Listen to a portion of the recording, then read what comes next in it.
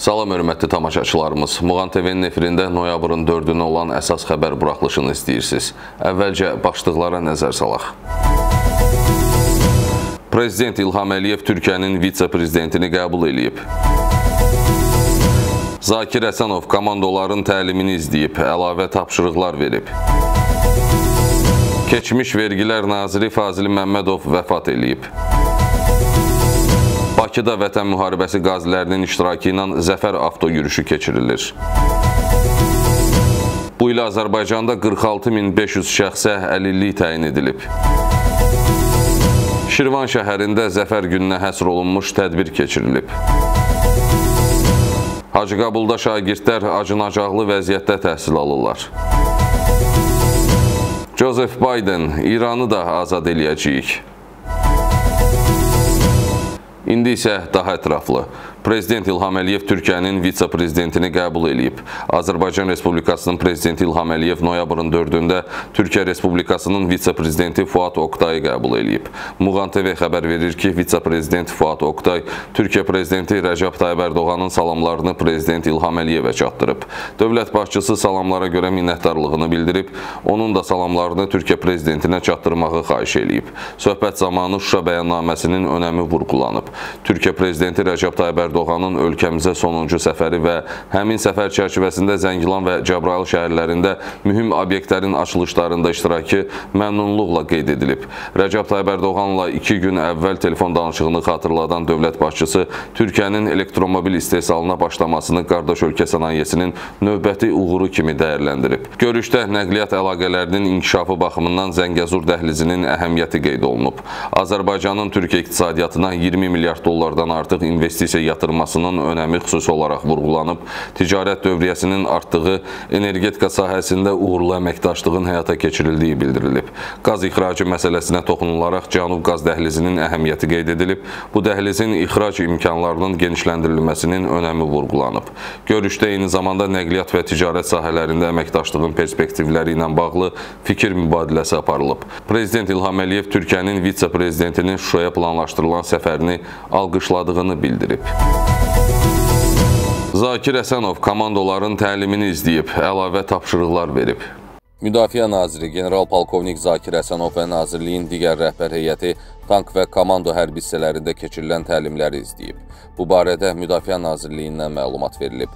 Komanda idarəetmə məntəqələrinə baş çəkən Müdafiə naziri tank opçuluğu təlimini və komandoların hazırlıq məşğələsini izlədikdən sonra komandir heyətinin məruzələrini dinləyib. Məruzə olunub ki, təlim prosesində şərtli düşmənin zirehli texnikasının puskuya və xəndəklərə salınmaqla yaxın məsafədən sıradan çıxarılması, eləcə də komandoların yaşayış məntəqələrində döyüş tapşırıqlarının icrası məşq etdirilir.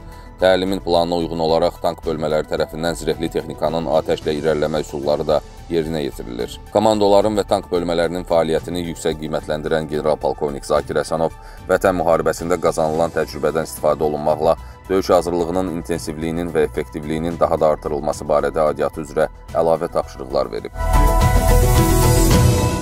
Bəli, komanda birliklərinin yaradılması Azərbaycan ordusunun peşəkar ordu e, sisteminə keçidinin bariz nümunəsidir. Təqribən e, bir il öncə əvvəl yaradılan bu birliklər Azərbaycan ordusunun quru qoşunlarında ən xüsusi önəm daşıyan briqadalardan biri olacaq e, komando birlikləri. Bilirik ki, xüsusi təyinatlı qüvvələrimiz var idi və xüsusi təyinatlı qüvvələrimiz 44 günlük vətən müharibəsində nəyə qadir olduqlarını açıq-aşkar nəinki düşmənə, bütün dünyaya göstərdilər. Lakin komando komando birliklərinin yaradılması xüsusi bir önəm daşıyırdı. Çünki komando birliklərində xidmət edən e, döyüşçü, hərbi qulluqçunun e, bilik və bacarıqları təqribən xüsusi təyinatlı qüvvələrlə demək olar ki, yuxarı-aşağı eyni səviyyədə olur. Çünki e, bir var müddətli həqiqi hərbi xidmət qulluqçusu, deyək ki, yəni 18 aylıq hərbi xidmət keçən əskər kimi fəaliyyət göstərən, xidmət göstərən şəxslərin bilik və bacarıqları. Bir də var ki, komandoların artıq artıq komanda kursunu keçərək dağ komanda dağ komandası kimi yetişməsi və müxtəlif ərazilərdə, çətin relyefli ərazilərdə eyni zamanda yerindəcə düzgün qərar qəbul etməyi bacaran peşəkar hərbiçilərin yetişdirilməsi tamam bir başqa şeydir. Ona görə də Azərbaycanda komanda birliklərinin yaradılması mən deyərdim ki, birbaşa Azərbaycan ordusunun peşəkar orduya keçid sisteminin ən bariz nümunəsidir. Hansı ki 2014-cü ildən bu yana bu sistem yaradılmışdı və 2014-cü ildə Müdafiə naziri Zakir Həsənovun bu barədə açıqlaması da var idi ki, ən əsas döyüşə təsir göstərən bütün peşələr professional ordu sisteminə keçir. Yəni ki, tank birlikləridir, artilleriya birlikləridir, raket artilleriyasıdır və s. Burada artıq müddətli həqiqi hərbi xidmət qulluqçuları deyil, artıq peşəkar müqaviləli hərbi hərbiçilər eyni zamanda gizir və zabit heyətindən təşkil olunur və indiki vəziyyətdə artıq bu proses demək olar ki, bütövlüklə tamamlanır və qeyd etmək lazımdır ki, Türkiyədə də bu komanda birlikləri artıq uzun illər öncə yaradılıb və öz effektivliyini göstərib həm PKK terror təşkilatına qarşı mübarizədə eyni zamanda bu təşkilatın müxtəlif qollarının İraq, Suriya istiqamətində olan fəaliyyətinin qarşısı alınması istiqamətində bu birliklərin dəfələrlə biz öz effektivliyini göstərdiyini görmüşük.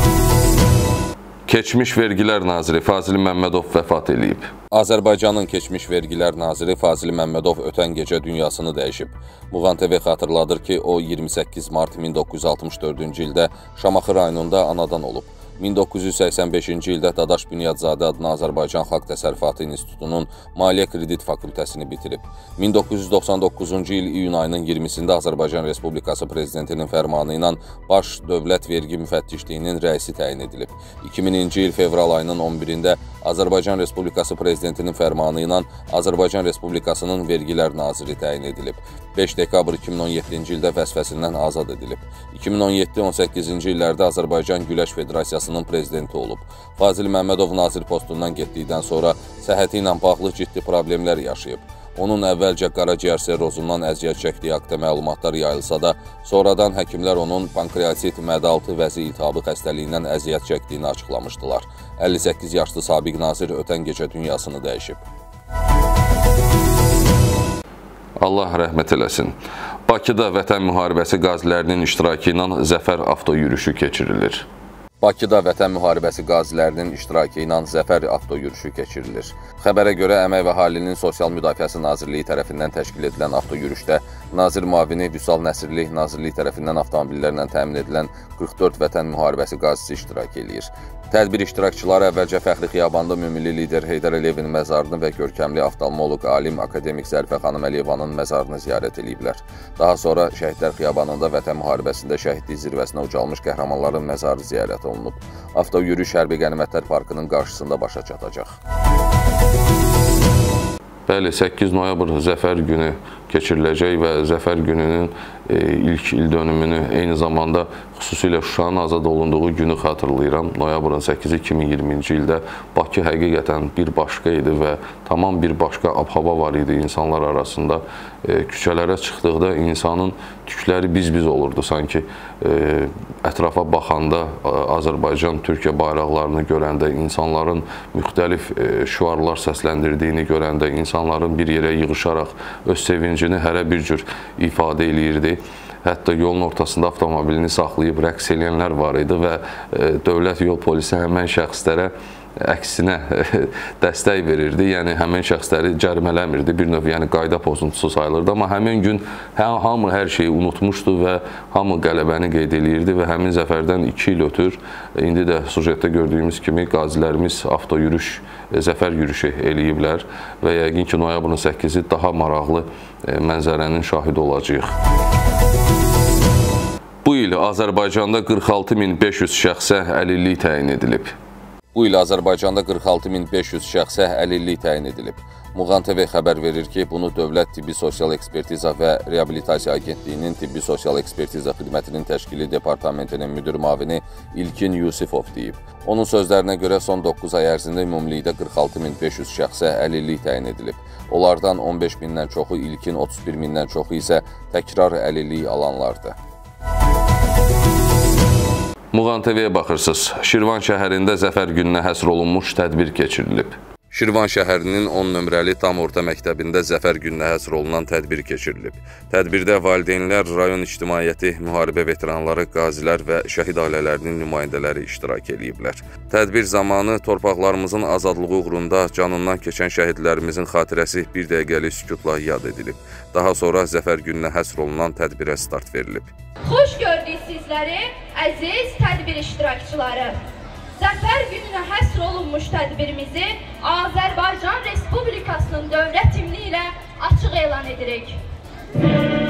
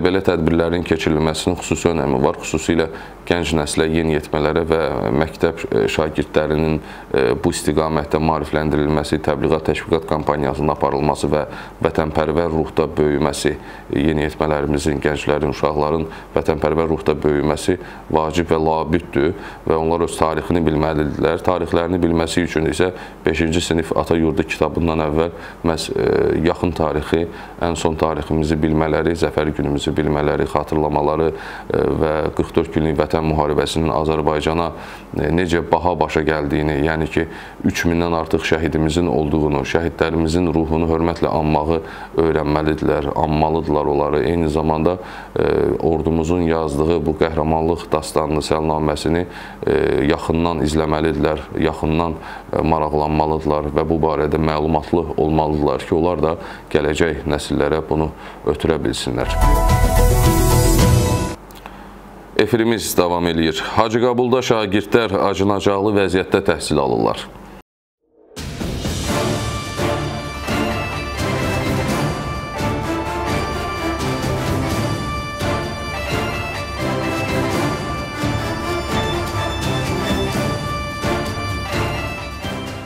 Kadrlarda gördüyünüz Hacıqabul rayonunda yerləşən Ələsgər Əliyev adına tam orta məktəbdir. Sakinlər deyir ki, dəfələrlə icra hakimiyyətinə həm məktəb rəhbərliyi, həm də kənd sakinləri tərəfindən müraciət edilsə də, onlara bu barədə heç bir cavab verilməyib. Məktəb 1972-75-ci illərdə tikilib. İstilik sistemi bərbad vəziyyətdədir. Elektrik naqilləri də həmçinin. Şagirdlər və müəllimlər sinifdə gödəkçə ilə otururlar. Kənd sakinləri müvafiq orqanların bu barədə tədbir görməsini, qısa bir zamanda məktəbin təmir olunmasını tələb eləyirlər.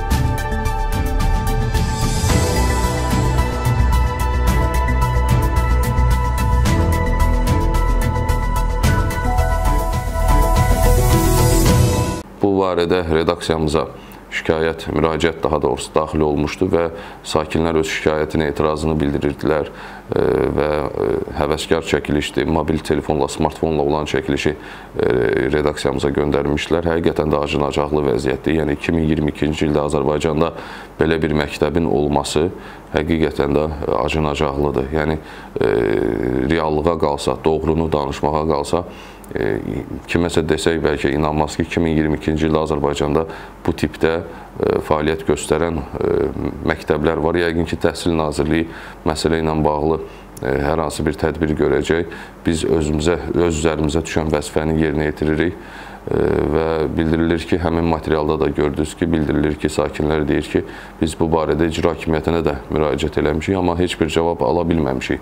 Və 72-ci ildə tikilən məktəb əlbəttə ki, qəzalı vəziyyətdə sayılır əslində. Yəni 72-ci ildə tikilən məktəb adi e, belə də tikinti materialları ilə tikilən, yəni bu məqbərə deyil, bu hər hansı bir e, abidə deyil ki, deyək ki, bunun dayanıqlığı var və ümumiyyətlə orada insanların giriş-çıxışın təhlükəsizliyi məsələsi var. Amma bu adi məktəbdir və orada on onlarla şagird təhsil alır, onların başına hər iş gələ bilər orada. Məktəbin döşəməsi bərbad vəziyyətdədir. Kadrlarda gördünüz, məncə artıq şərhə ehtiyac yoxdur və yaxşı olar ki, müvafiq qurumlar vaxtında bu barədə tədbir görsünlər. Dünya xəbərlərinə keçid alırıq. Joseph Biden İranı da azad eləyəcəyik. Narahat olmayın, biz İranı da azad eləyəcəyik. Onlar tezliklə azad olacaqlar. Muğan TV Reuters istinadən xəbər verir ki, bunu ABŞ prezidenti Joseph Biden Kaliforniyada vətəndaşlar qarşısında çıxışı zamanı bildirib. Dövlət başçısı görüş keçirən vaxt onlarla nümayişçi İrandakı etirazları dəstəkləyən plakatlarla küçələrə çıxıb. Biden İrandakı vəziyyətlə bağlı görüləcək tədbirlər haqqında ətraflı məlumat verməyib. ABŞ-ın Milli Təhlükəsizlik Şurası da məsələyə aydınlıq gətirməyib. Baydenin əslində bu açıqlaması iki başlı məna daşıyır. Bir tərəfdən güya İran vətəndaşları üçün canları yanır, digər tərəfdən isə qeyd eləmək olar ki, bu bir qədər sətiraltı mesajdır. Yəni Əfqanistanı azad elədik, yəni nə hala saldıq, İraqı azad elədik, nə hala saldıq. İndi növbə İrandadır. Ola bilər bu tip mesaj vermək istəyib. İranda isə vəziyyət qarışır. E, demək olar ki, hər gün etiraz dalğası getdikcə böyüyür, xüsusilə e, o vilayətlərdəki e, polislə toqquşmalar daha e, belə deyək, kütləvi hal alıb və kütləvi ixtişaşlar nəticəsində hər iki tərəfdən ölənlər var. Yəni həm hökumət qüvvələri tərəfindən, həm aksiyaçılar, e, etirazçılar tərəfdən. Eyni zamanda İranın son günlər Azərbaycana qarşı qara PR kampaniyasını biz görə bilirik. Həm siyasi arenada, həm də sərhəddə bizə qarşı əzələ nümayişini görə bildik. Hansı ki, Arazdan körpünü keçmək məşqləri elədi, hərbi təlim keçirdilər, müxtəlif qoşun növləri bu təlimlərdə iştirak elədi. Azərbaycan da bu addıma elə eyni addımla cavab verir və Azərbaycan ordusu cənub sərhədlərində xüsusi tənaqlı qüvvələrimiz hərbi təlim keçirirlər. Ona görə də hazırki vəziyyətdə İranın e, siyasi e, dairələri və rəhbər heyəti e, oturub yaxşı-yaxşı fikirləşməlidir ki, ilk növbədə daxili sabitliyi bərpa edib, daha sonra xüsusilə həmsərhəd dövlətlərlə Azərbaycanla münasibətlərinin normallaşdırılması və gərginliyin aradan qaldırılması istiqamətində e, vacib addımlar atmalıdır və e, öz təhlükəsizliyini təmin etmək istəyirsə, bu məsələlərə diqqət yetirməlidir. Hulusi Akarla NATO-nun baş katibi arasında görüş olub. İstanbulda Türkiyənin Milli Müdafiə Naziri Hulusi Akarla NATO-nun baş katibi Jens Stoltenberg arasında görüş olub. Muğan TV xəbər verir ki, bu barədə Türkiyənin Milli Müdafiə Nazirliyindən bildirilib. Tərəflərin hansı məsələləri müzakirə etdikləri hələ ki açıqlanmayıb. Qeyd edək ki, Stoltenberg Türkiyədə səfərdədir. İdman xəbərlərinə keçid alırıq. Qarabağın konferans liqasındakı potensial rəqibləri müəyyənləşib. Avropa Liqasının qrupunu 3-cü pillədə tamamlayıb turnirdə mübarizəni başa vuran Qarabağın Konferans Liqasının play-off mərhələsindəki rəqibləri bəlli olub. Muğan TV xəbər verir ki, Ağdam təmsilçisi Konferans Liqasında səpələnmişlər səbətində yer alıb. Qeyd edək ki, püşkatma noyabrın 7-sində baş tutacaq. Səpələnmişlər səbətində Qarabağın potensial rəqibləri Anderlecht, Basel, Cluj, Dnepr 1, Fiorentina, Gent, Lech, Partizan, AEK Larnaka, Udoglimt, Braqa, Lazio, Ludogorets, Qarabağ, Şerif Trabzonspor. Dünən gecə baş tutan Qarabağ-Frayburq maçı həqiqətən acınacaqlı məqamlarla yadda qaldı futbol tarixi üçün, eyni zamanda Qarabağ komandasının azarkeşləri üçün. Amma heç də üzülmək lazım deyil. E, şəxsən mən bu oyunda Qarabağı qalib hesab eləyirəm. Çünki bir penaltimizi vermədilər, çevirdilər ofsayta. Digər tərəfdən qapımıza penalti təyin olundu. Bir çox uğursuzluqlarla rastlaşdıq.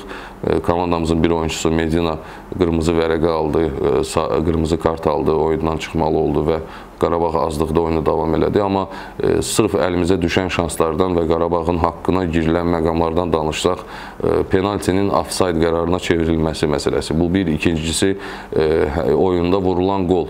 Səhv eləmirəmsə Veşoviçin vurduğu qol idi və orada ümumiyyətlə offside-dan, offside epizodundan söhbət gedə bilməzdi və hesab bərabərə hesablanmalı idi. Yəni hesab 1-1 olmalı idi və gördük ki, son dəqiqələrdə də artırma dəqiqələrdə Ovuzunun əzmkarlığı, ümumiyyətlə komanda komandanın əzmkarlığı və sona qədər mübarizə aparması nəticəsində e, rəqibin qapısına bir daha yol tapdıq və hətta ikinci qol vurulanda artıq e, tərəddüdü sevinirdi insanları. Yəni baxırdılar ki, indi buna da bir e, məsələ aydınlıq gətirərlər, bildirərlər ki, bu da ofsaytdır və yaxud burada da nə bilim kobudluq olub və s. Amma ki, faktiki vəziyyətdə Qarabağ dünən Freiburqa qarşı, qrup liderinə qarşı, Bundesliga 6-cısına qarşı və hər həftə Almaniyanın Bundesliga Bundesliqasında e, nəhənglərə qarşı oynamağa vərdiş eləyən Freiburqa qarşı, yəni Bavariya ilə, Münxen komandası ilə e, və digər komandalarla, Borussia Dortmundla hər həftə üz-üzə gələn bir komanda ilə, bu cür potensiallı bir komanda ilə, e, xüsusilə azlıqda, bundan əlavə ehtiyat skamyadakı oyunçuları qeyd eləmək istəyirəm. Qurban Qurbanovun artıq şansı qalmamışdı və Maksim Medvedevi oyuna buraxdı. Veteran futbolçudur demək olar ki, Maksim Medvedev. Çünki zədəli oyunçularımız var idi. Ozo Ozobiş zədəli idi, Bədavi zədəli idi, bundan başqa Andrade zədəli idi. Yəni ki, imkanlar məhdud idi və xüsusilə 10 nəfərlə azlıqda qalmağımız artıq hücumu gücləndirə bilmirdi. Yalnız son oyunun sonlarına yaxın Toralı Toralı meydana buraxdı. Bir neçə dəyişiklik oldu. Romao meydana daxil oldu və s. amma bütün bunların fonunda Qarabağı qalib hesab eləmək olar. Bu maçın qalibi hesab eləmək olar. Bir tərəfdən də bəxtsizliyimiz onda oldu ki, Olympiakos kimi komanda bu mövsüm zəif çıxış eləyən komanda Freiburgla e, səfərdə e, heç-heç eləməyinə baxmayaraq e, öz meydanında Nanta 2-0 məğlub oldu. Bir sözlə Qarabağın bu maçda heç də bəxti gətirmədi, heç də şansları olmadı və təəssüf ki, Qarabağ Avroliqa ilə vidalaşdı və konfrans liqasında öz uğurlarına davam eləməyə çalışacaq və qrupdakı rəqibləri də e, səpələnmişlər qrupunda, səbətində rəqibləri də gördük. Heç də keçilməyəcək rəqiblər deyil Qarabağın qalib gəldiyi rəqiblər də var bu komandalar arasında. Ona görə də e, yəqin ki, burada Qarabağın şansları daha çox olacaq. Ramil Şeydayev və azarkeşlər arasında qalmaqal baş verib. UEFA Avropa Liqasının qrup mərhələsinin son turunda Freiburgla 1-1 hesablı heç-heç eləyən Qarabağın maçından sonra qalmaqal olub. Muğan TV xəbər verir ki, oyundan sonra komandanın hücumçusu Ramil Şeydayevlə azarkeşlər arasında gərginlik yaşanıb. Oyunçular azarkeşlərə təşəkkür bildirərkən fanatlardan bir neçəsi Şeydayev və Kvabena Ovuzuya etiraz eləyib. Nəticədə Şeydayev tərəfdarların etirazına əsəbləşib. Onu həmin ərazidən komanda yoldaşları Marko Veşoviç və Musa Qurbanlı uzaqlaşdırıb. Sonda isə hava haqqında məlumata nəzər salaq. Bakıda və Abşeron yarımadasında hava şəraitinin dəyişkən buludlu olacağı, ara-bir tutulacağı, əsasən yağmursuz keçəcəyi gözlənilir. Milli Hidrometeorologiya Xidmətindən verilən məlumata görə gecə və səhər bəzi yerlərdə az kiskin olacağı ehtimalı var. Mülayim şimal küləyi əsəcək. Havanın temperaturu gecə 9-13, gündüz 15-17 dərəcə isti olacaq. Bakıda gecə 10-12, gündüz 15-17 dərəcə isti olacaq. Azərbaycanın rayonlarında əsasən hava yağmursuz olacaq, lakin axşam bəzi yerlərdə arabir yağış yağacağı gözlənilir. Yüksək dağlıq ərazilərdə qar yağacağı ehtimalı var. Gecə və səhər saatlarında duman olacaq, şərq küləyi əsəcək. Havanın temperaturu gecə 7-11, gündüz 17-21 dərəcə isti olacaq. Belə əziz izləyicilərimiz, bu günlük və bu həftəlik sizə çatdıracaqlarımız bu qədər. Bazar günü icmal buraxılışımızı izləməyi unutmayın. Allah Türk dünyasını qorusun.